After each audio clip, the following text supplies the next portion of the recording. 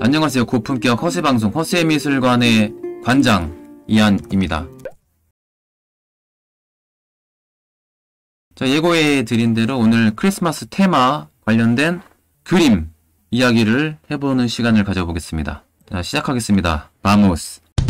피테르 브리헐. 아빠 피터르 브리헐입니다. 아, 아들 피터르 브리헐이 아니라 동방박사의 경배에 요 그림 주제를 많이 그리죠. 전통적으로 목동들의 경배 혹은 동방박사의 경배 주제로 많이 그리고 우리가 축제를 즐기는 그 크리스마스 때 산타 할아버지는 크리스마스와 전혀 무관하다고 그랬죠. 제가 옛날 방송에서 그렇게 말씀드렸는데 선물을 주는 사람이 산타클로스가 아니에요. 산타클로스는 이 시대의 사람들도 아니 사람도 아니고 예수님 사후 성인입니다. 니콜라스 성인을 네덜란드 말로 산타클로스 발음 비슷하게 부른 게 지금의 어, 산타클로스가 된 거거든요. 어, 근데 원래는 예수님께 어, 선물을 주는 분들이 동방박사들이잖아요, 세 분. 근데 박사란 번역도 저는 좀 어렵다고 봐요. 영어식을 막이라고 하고 스페인어로 마고스라고 하는데 점성술가 뭐 예언가 이런 뜻이거든요. 마법사.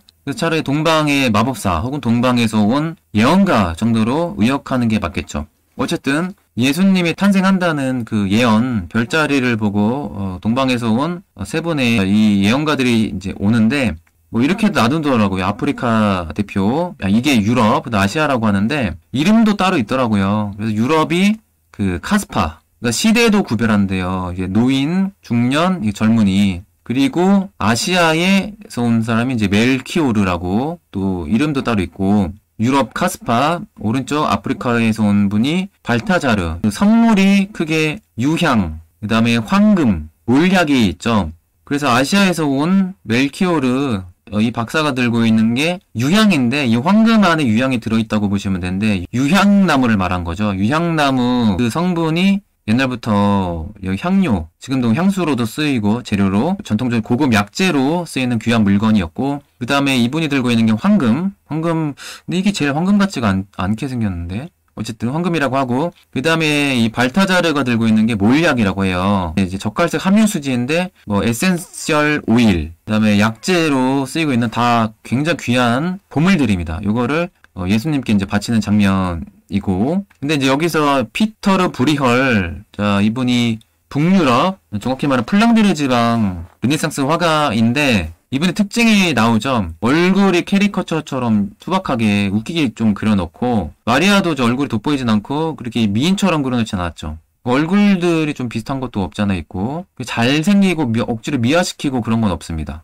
그리고 조금은 관성적으로 천처리를 일괄적으로 좀 부자연스럽게 하는 게 있어요. 대신에 하나하나 굉장히 디테일하게 그리는 어, 이런 그 기술을 가지고 있는 게 이 지방 플랑드르 지방 사람이죠. 그렇죠. 머리 얼굴 진짜 작죠. 과도하게 작습니다. 심지어 예수님 얼굴도 너무 작아요. 전통적으로 비잔틴 이콘 때부터 예수님을 그릴 때 우리가 아는 갓난애기로 그냥 그린 게 아니라 약간 겉늙은 성인의 모습으로 많이 그린다고 했잖아요. 그래서 이미 어릴 때부터 이제 다 큰 성인의 인격을 가지고 있다 이런 걸 어, 표현하기 위해서 보통 아기처럼 그리진 않고 이 모습이 점점 바로크로 갈수록 보통 인간 아기처럼 그리는 특징이 있죠. 이렇게 바뀝니다.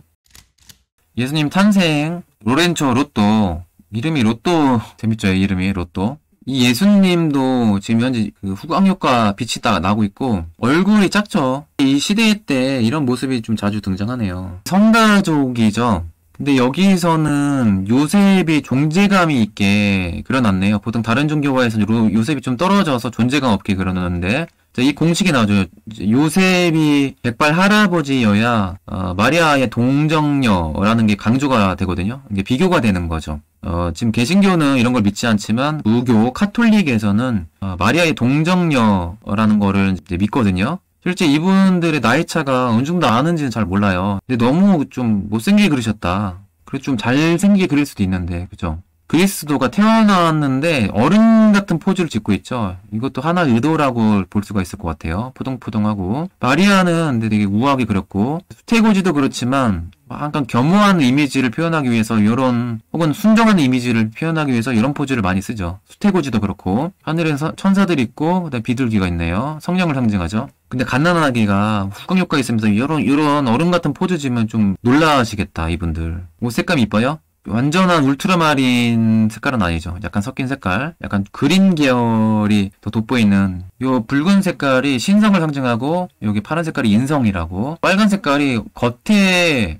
둘러있는 경우도 있고 파란 색깔이 주조 톤이죠. 마리아 색깔 그릴 때는. 예수님 얼굴, 요 비례 보는 재미가 있어요. 이 보통 비례는 아니다. 이 보통 깐난하기 비례는 아니다라는 거죠. 성지순례라고 하잖아요. 카톨릭에서는. 그런 기적이 일어나는 곳을 성지로 많이 삼는데, 성모 마리아의 발현지나 무슨 뭐 천사의 발현을 뭐 목격했다는 분들 대다수가 가난한 목동들 앞에 자주 나타난다고 합니다.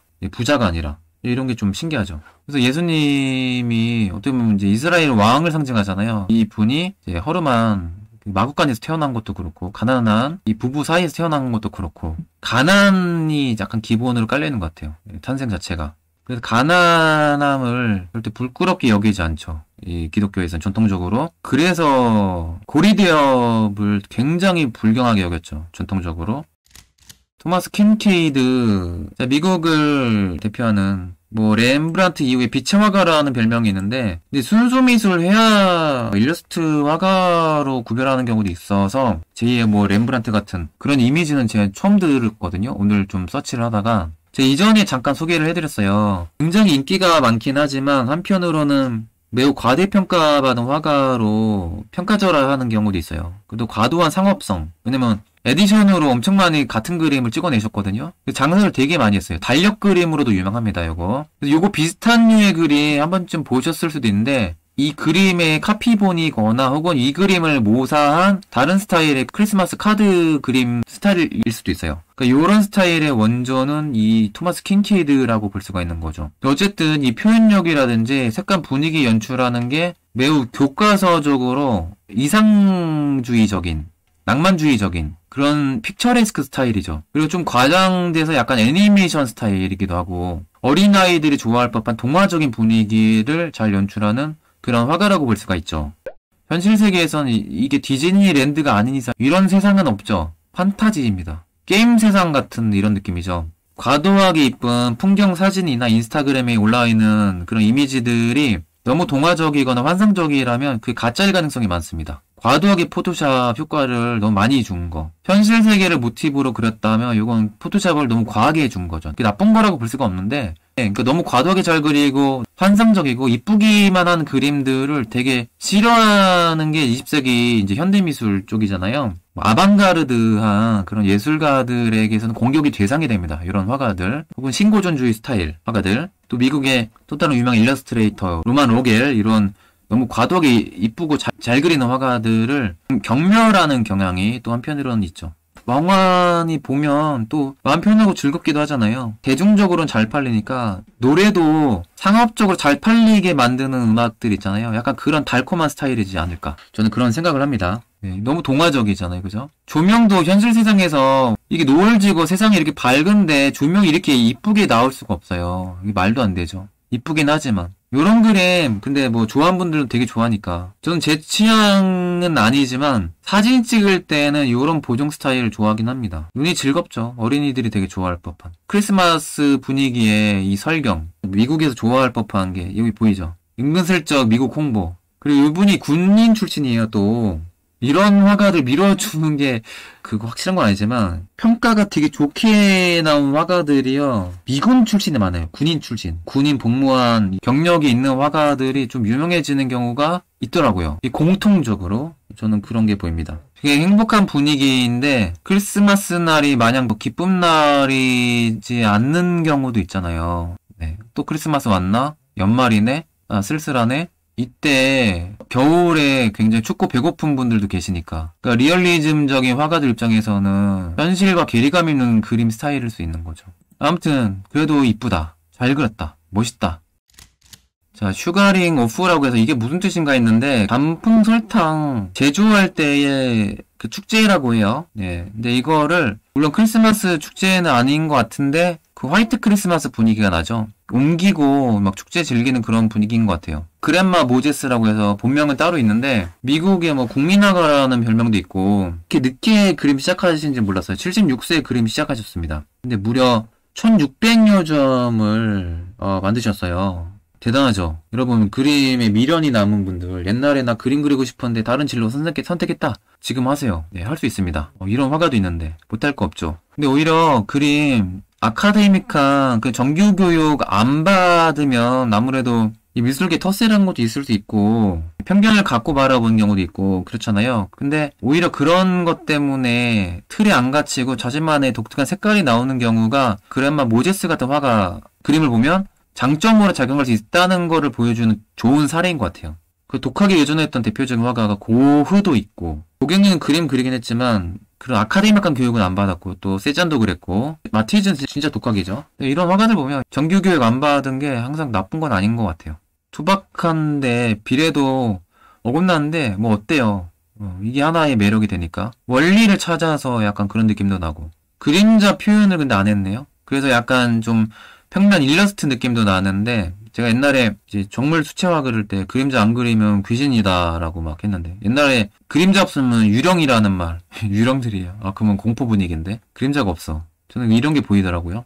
아 앙리 루소 그죠 앙리 루소도 그 독학에서 성공한 대표적인 화가죠. 미국도 그렇고 과거에는 이렇게 이웃들과 교류를 했잖아요. 동네 사람들과 같이 즐기고 휴머니즘이 있었는데 그런 게 이제 현대인들은 많이 없어졌죠. 특히 도시에서는 이런 게 쉽지는 않습니다. 어, 이제 그런 게 좀 보이네요. 엽서 느낌도 나고 이분이 한편 일러스트레이터기도 합니다. 어떻게 보면 매력적인 인간미가 이제 물씬 풍기는 그런 화가 칼 라르손인데 라르손이 대표적인 스웨덴식 이름이죠. 스웨덴 화가고 인테리어 디자인도 하는 화가라고 합니다. 그래서 크리스마스 아침인데 요게 그런 것 같아요. 북유럽의 이 겨울 갬성 실내 따뜻한 분위기. 우리 명절날 아침에 뭐 친척들 모이면 애들끼리 되게 잘 놀잖아요. 요즘에는 왕래가 적어서 이런 분위기가 있는지 모르겠는데 북유럽은 겨울이 워낙 춥고 그 나가면 놀 데도 없잖아요. 그 실내에서 뭔가 즐기고 꾸미는 문화가 발달해서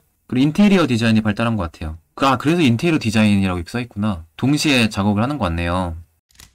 마르셀 리더라는 화가 크리스마스 장식이란 제목인데 제 19세기 말이고 이게 어떻게 보면 사실주의 그림이면서 어떻게 보면 이제 뭐 사, 상징주의 어, 이런 시도도 많이 했다고 알려져 있는데 이 그림 하나만 보여드리지만 다른 그림들 보면 어두운 가운데 조명이 딱 있습니다. 근데 렘브란트식 그런 배경과도 또 달라요. 이 여인도 얼굴이 보일 듯 말 듯 하니까 이런 묘한 분위기를 자아냅니다. 약간 인상주의 스타일 같기도 한데 크리스마스 관련된 테마 서치하다가 알게 된 화가입니다. 마리셀 리더, 프랑스의 사실주의 혹은 상징주의 화가로 평가받는 그런 아티스트입니다. 조명 효과를 보는 재미가 있는 그런 화가. 우리 알폰스 무아 매니아들 되게 많잖아요? 우리가 아는 알폰스 무아가 이런 스타일은 아니죠. 포스터로 유명해졌잖아요. 상업 디자인, 일러스트 느낌, 아르누보, 그런 스타일 그 변신하기 전에 과도기라고 볼 수가 있는데 그 당시 유럽에서 유행했던 상징주의 그랜드를 보면 디스토피아적이면서 신비로운 분위기가 있거든요. 약간 그런 느낌이에요. 알폰스 부아가 이런 스타일의 분위기를 많이 그리셨습니다. 유럽의 그 전통적인 크리스마스 분위기를 그린 건데 아무래도 이 의상이 동유럽 쪽일 가능성이 많, 은것 같아요. 왜냐면 알폰스 무아가 그 체코 쪽이잖아요. 슬라브족. 그쪽에 그 기독교 전통 의상이지 않을까 개인적으로 생각하고 그 상징이 양초, 견과류라고 합니다. 이거 호둔 같아요. 견과류 그리고 사과 그렇게 볼 수가 있죠. 그래서 알폰스부가 좋아하시는 분들 그런 이쁜 여성적인 아르노브만 그게 알폰스 전부라고 오해하시면 안 되고 그 이분 그렇게 진화하기 전에 상징주의 시대 사실주의 스타일로 그렸을 때 그림 보면요 진짜 잘 그린 화가입니다. 표현력이 진짜 뛰어난 어, 기본기가 진짜 잘 다져진 화가라고 볼 수가 있죠. 처음에 체코 쪽에서 젊은 시절에 그렸을 때는 그렇게 잘 그리지 않다가 후원받고 파리에서 유학을 했잖아요. 그 유학한 효과가 나옵니다. 갑자기 잘 그려져요. 파리야 1년 뒤, 뭐 1년 뒤 가면 갈수록 점점 잘 그려지다가 대변신을 시도하죠. 유명한 배우 포스터 디자인을 하면서. 어, 이 화가 어, 매력적이더라고요. 독일은 보통 인상주의가 유명하진 않잖아요. 독일의 인상주의 화가라고 평가를 받더라고요. 아, 발음 어려. 프란치스 카르비나의 크리스마스 트리 아래라는 제목. 이 아이가 갓난아기를 안고 있는 모습이더라고요. 그리고 지금 보니까 요 의자에 올려 있는 게 인형인 것 같아요. 그러니까 이게 크리스마스 이제 연출이잖아요. 아기 예수님을 연상시키기도 하고 그 순수한 소녀와 같이 있다는 이 느낌. 화이트와 요 나무 색깔의 대비 그리고 약간 보색 대비죠. 이 붉은 색깔의 컬러의 절제 속에 이 묘한 분위기. 색채를 다양하게 쓰는 게 정답이 아니죠. 절제를 하는데 그 색채가 간결한데 매력적인 경우가 많은데 이분이 색채를 그렇게 쓰시더라고요. 어떻게 나쁘게 말하면 이게 탁한 색깔일 수도 있거든요. 이런 게 이제 경쾌한 화이트와 대비를 이루면서 어, 묘한 분위기를 연출을 하죠. 아, 이 그림 잔혹동화 같아요? 상상하기 나름이니까 그렇게 해도 상상할 수 있겠네요. 여기 아기가 있고 이 인형들이 이렇게 막 드러누워 있는 그 분위기 여기 무슨 밧줄 같은 느낌도 있고 잔혹동화 같은 느낌도 있네요. 제가 좋아하는 무리요 그 목자들의 경배죠. 근데 바로크 시대라서 아기가 비율이 이제 정상적으로 이제 바뀌고 있고 공식이죠. 위쪽에는 아기 천사를 많이 그리고 이분이 또 바로크 화가긴 한데 성향은 또 사실주의 쪽이에요. 벨라스케스도 그렇지만 가난한 당시 세비야의 그 현실을 따뜻한 감성으로 잘, 잘 녹아낸 화가라고 볼 수가 있죠. 어, 이탈리아 르네상스에 라파엘로가 있다면 스페인에는 성모 마리아를 잘 그리는 대표 화가 무리오가 있습니다. 바르톨롬의 무리오. 이 화가 진짜 매력적이에요. 그에 비해서 아시는 분은 상대적으로 좀 적은 것 같아요. 그런 따뜻한 감성, 인자한 성모 마리아. 아주 과도하게 센 색깔은 이 그림에서 안 썼죠. 근데 다른 그림에서는 따뜻하면서도 화사한 그림도 그리기도 합니다. 근데 이렇게 가난한 목자들을 연출할 수 있었던 거는 실제 그 당시 세비야가 흑사병 전염병 때문에 엄청나게 많은 피해를 받거든요. 죽어나가는 요 사람들 아기들을 보고 또 자기 자식도 여러 명 죽었어요. 부리오란 화가가 그렇다 보니까 누구보다도 아기에 대한 어린이들에 대해 애착이 좀 남달랐던 그런 화가 그런 것들 그림에 녹아 있습니다. 이 화가. 그 제가 이 그림을 직접 미술관에서 본 적은 없는데 무리요 서치를 하다가 아기를 이렇게 귀엽게 인간적으로 어, 깨물러 주고 쉽게 잘 그린 화가가 있을까 싶을 정도로 아기 그리스도 선사 정말 잘 그린 화가입니다. 근데 또 의미가 있어요. 해골 있죠. 해골은 당연히 죽음을 상징하고 죽음의 덧없음, 메멘토 모리일 수도 있고 그 스스로의 앞으로 다가올 죽음, 순환을 암시하는 걸 수도 있고 거룩한 밤, 고요한 밤 이렇게 잠들어 있는 것 같지만 어떻게 보면 죽은 것 같기도 하고 뒤에는 십자가가 있죠. 그래서 마냥 그 귀여운 아기 초상화는 아니란 거죠. 무거운 그 앞으로 다가올 비극적인 미래가 또 녹아져 있는 그림이기도 하고 근데 아기들은 너무 귀여워. 아이러니하게. 이게 그래서 매력적이지 않나. 혹시 이 천도 인성을 상징하는 걸까요? 그리스도의 인간으로서의 그 모습, 그 인간미, 그런 걸 암시하는 걸까요? 그건 모르겠으나, 어쨌든 너무 그림 좋다. 여러분, 아무튼 메리 크리스마스, 네, 즐거운 성탄절 어, 되시고 어, 한해 마무리 의미 있게 잘 하시길 바랍니다. 이 정도까지 하고 이제 인사드릴게요. 끝까지 방송을 어, 잘 들어주셔서 감사합니다. 저는 허세미술관의 관장 이한이었습니다. Hasta luego. Buenas noches.